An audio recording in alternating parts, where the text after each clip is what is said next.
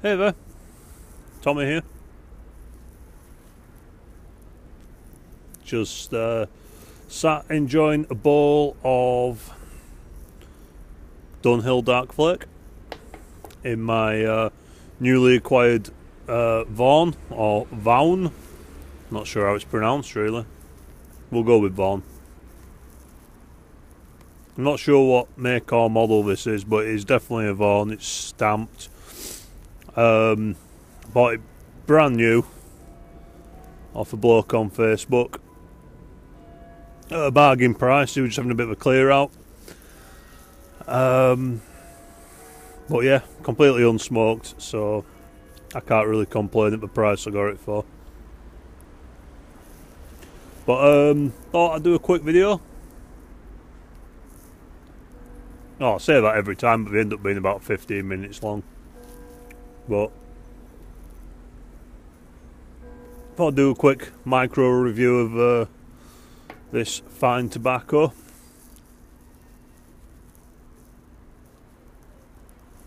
It's another one of the uh, recently resurrected old blends, which um, doesn't seem to be available in the UK at the moment, but it is in Europe and the US.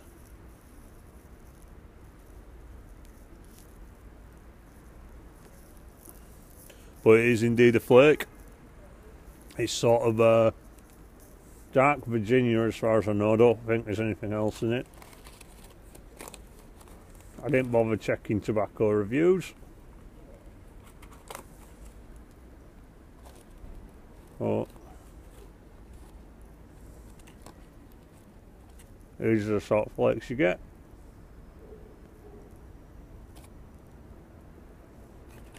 Sort of um, dark mottled Virginia. Really nice. And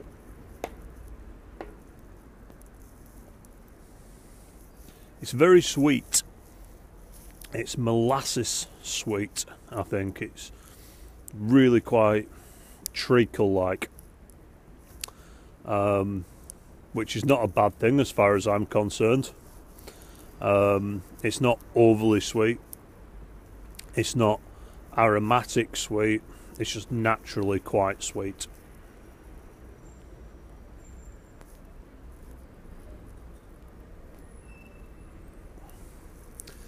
And it's it's a bit surprising this one because this was the one that I'd highly anticipated the most. As devotees to my channel will know, I am very much a Virginia Flake kind of guy. Um, and this was one that I anticipated highest when I found out there was going to be four more releases um, towards the end of last year. And initially, I wasn't that impressed. On first impressions, I got the sweetness, but I didn't really get anything else from it. I, I didn't really get it, but I gave it a few, I gave it about a week and a half, two weeks of uh, of air time, which is what I like to do with tobaccos anyway. Usually, when you see me reviewing a tobacco, it's something that I've smoked several times in various different stages, from as soon as I've opened the tin or pouch and then maybe about a week later, and then a week later, and then a week later, and then maybe a few days later. And you know, and I tend to try and smoke it in the same type of pipe. If not the same one, then certainly one that has a similar kind of chamber and bowl. Um, I will occasionally try smoke it in a different pipe just to see if that makes any difference, which it seldom does, if I'm honest. Um, some people claim certain pipe shapes or certain tobaccos. Ah, I'm skeptical. Um, I'm not going to say it's complete bullshit, but um, I will say I've not really noticed a difference. But I am rambling a bit there. So, anyway, initially, I wasn't that impressed. But after couple of weeks of the seal being opened, it seemed to. Uh, I don't know, just seemed to offer up a lot more. In terms of flavour.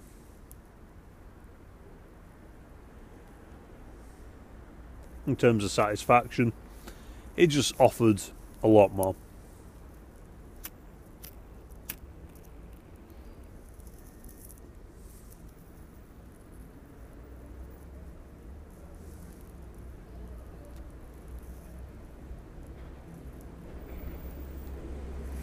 But it's definitely one that I think needs sipping rather than smoking fast. It's one you've got to allocate a decent amount of time to because I think if you if you try and chase a flavour in it, you'll just struggle, to be honest. But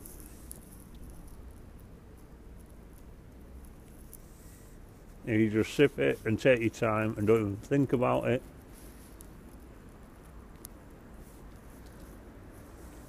then you get a much better experience from it.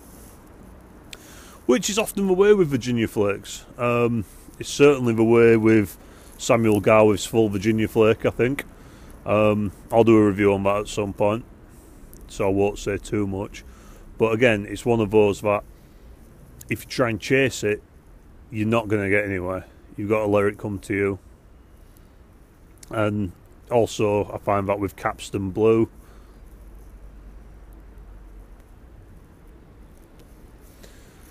Dunhill flake, you know, exactly the same. You've got to just let it come to you, and it will.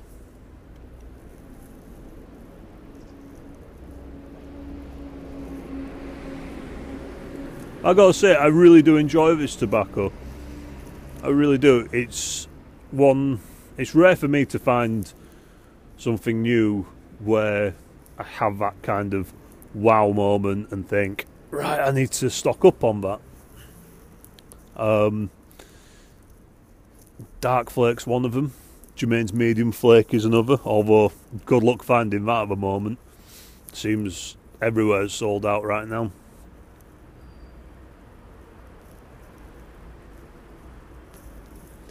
Which you know, it's understandable in the current climate. You don't know from one minute to the next where blends are going to disappear too. I mean, a big shock for me the other year was when Orlik Golden Slice got discontinued in the UK. I would have thought that was a big seller.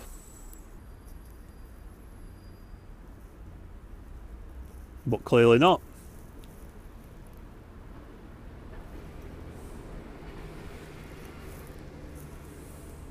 It was a bit of a shocker that one. So I can understand why people are panicking a little bit, especially with something like Germain's, because it never seems to be fully in stock at any given time. Um, but my understanding is because it's like that because it's a small family business and we do small batch production. They might do it you know 500 grams a time on some blends. And so when they when they've got it they dispatch it and then people see it's in stock and they're like oh well I, I want to make sure I've got plenty of it. And so then they buy like you know five tins and then before you know it, it's gone again. I mean they probably do do it in greater quantities than 500 grams but you know what I'm saying? They might do you know five runs of 500 grams to supply to the main supply uh, to main um, salespeople, and then people see it and they just go, "Oh shit, yeah, I need to buy this," and they buy like four or five tins. Well, that's half the stock gone in one transaction, and I understand people doing it. It's just prudence, but at the same time, it makes it bloody inconvenient when you want a tin and you can't find it anywhere. I really want to try Germain's brown flake. I've not been able to try it yet. I can never find it in stock anywhere. But then, inversely, when it does come into the shops, I don't really want to buy two tins of it because if I don't like it, I'm going to be stuck with it. I did I did a similar thing late last year.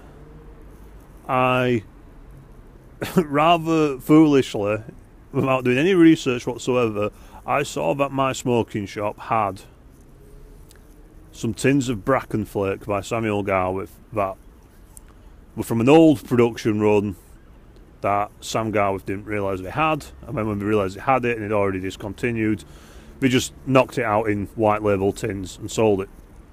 Sent it on to my smoking shop, um, who had a very limited supply. I think we had about 15 tins or something like that. And I bought two, cracked one open, tried it, hated it. Hated it. It's a Lakeland. I should have read up on what it actually was before buying it. But the whole mystery box phenomena got to me a little bit, and um, I ended up with them. But it was okay. I managed to trade them off, but uh, you know, it can be problematic making a knee-jerk decision like that.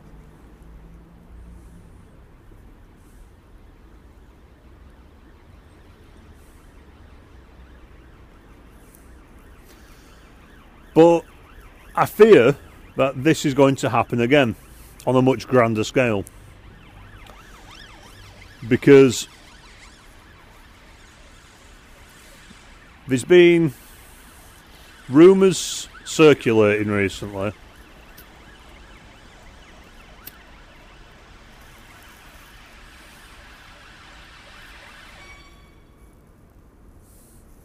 about Dunhill tobacco um, going off the market. Now, it seems to have all stemmed from a blog post, which I do not know the validity of that. I do not know whether it's a reliable source of information. I've not seen anything official. I've spoken to a few people. Some people ex industry, some people still within the industry. Um, and my understanding, and this is strictly my understanding, this does not mean it's true, but my understanding is that it's a bit of a half truth. That Dunhill are wanting to take their name off any kind of tobacco products.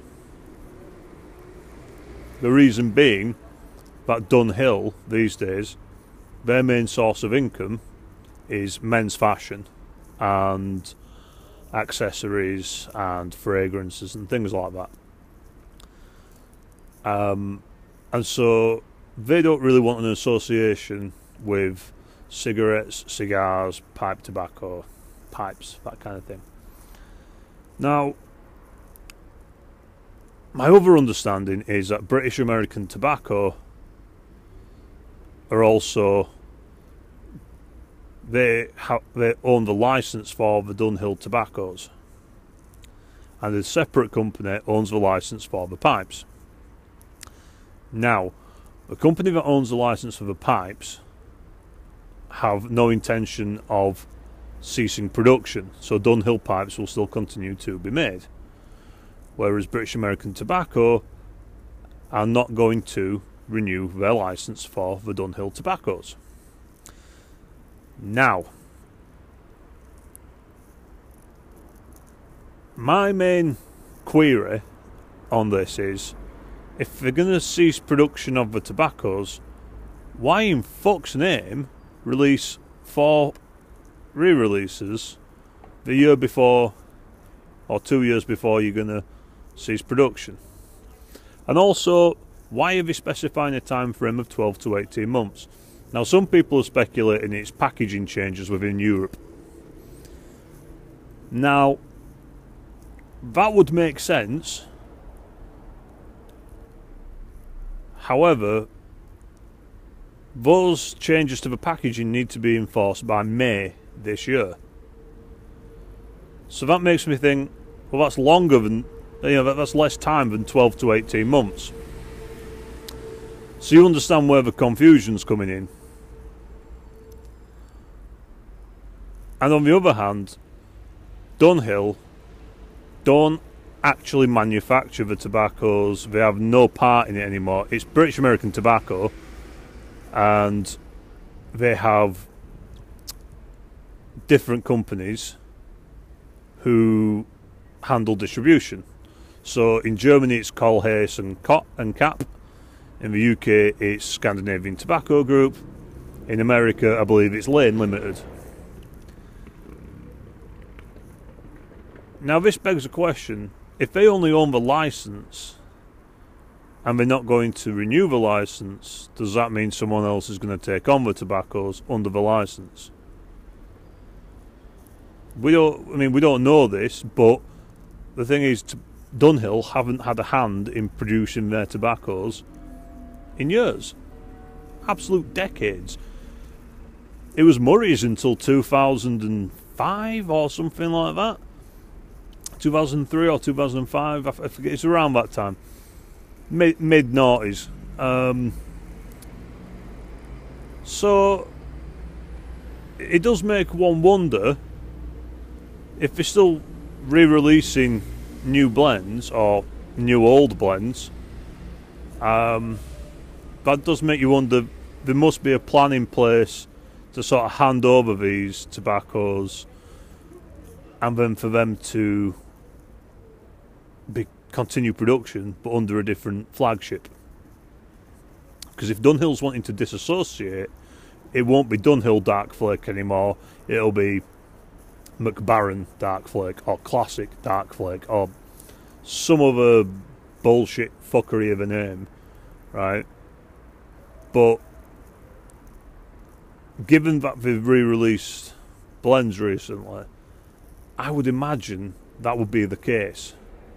Um, I don't think it's got anything to do with the FDA um, in the US and the new pending regulations because they're manufactured in Denmark, so they're not really going to give that much of a shit, if you know what I mean. They're going to be more concentrated on the European and UK markets, and America's just another export.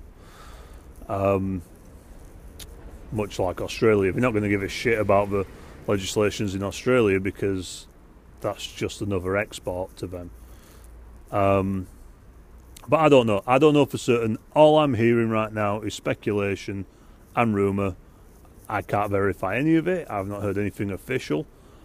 I've heard what I've heard through various different sources, some reliable, some unreliable. Um, so I can't set the record straight.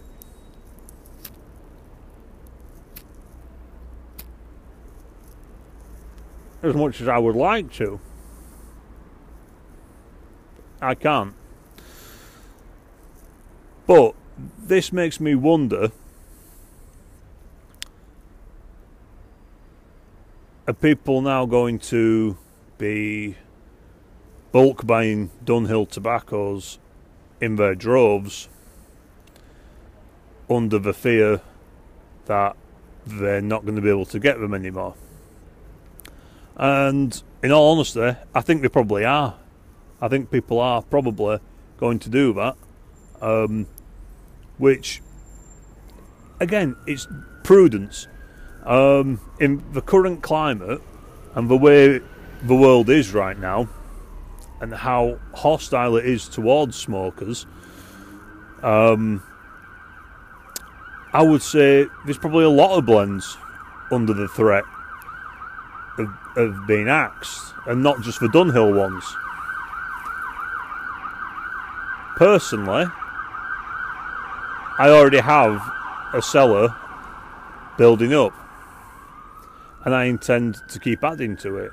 And if the blends disappear, they disappear. But in all honesty, I don't think it's worth bankrupting yourself over and panic buying a load of tobacco because I personally think that the blends will get taken on. You know, someone will buy, someone will buy the rights to the blends and use a different name. It probably won't. You know, they'll probably just take Dunhill off and start calling them. You know, Mac Baren or, or or whoever takes them on, or Lane Limited, or whoever takes on the blends, they'll change it. So it might then be Lane Dark Flake or Mac Baren Dark Flake, depending on which ones they decide to keep on. Can't verify that, but that's what I imagine will happen. In the meantime, it probably would be prudent to uh, to stock up on ones you like. I wouldn't say it's worth going crazy over. I wouldn't panic um, because if the rumours are true, you've still got 12 to 18 months, so you've got plenty of time to slowly but surely build everything up. But I would also say there are other blends out there, and there's other uh, brands that are probably facing the threat of death by legislation as well.